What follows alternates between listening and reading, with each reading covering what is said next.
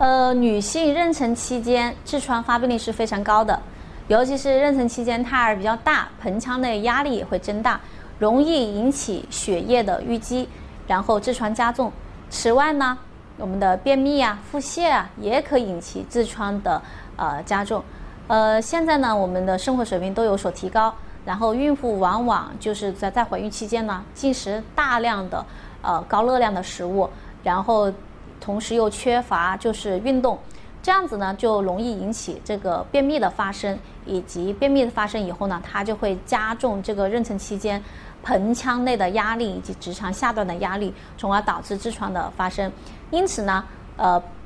孕妇的饮食呢其实是非常重要的，以清淡饮食为主，高纤维、呃素以及高维生素含量的饮食都要多进食，呃都要呃多吃啊、还要多吃蔬菜、水果，呃尤其呃一些呃纤维素含量高的食物的话，对于痔孕妇痔疮的发生可以起到很好的预防作用。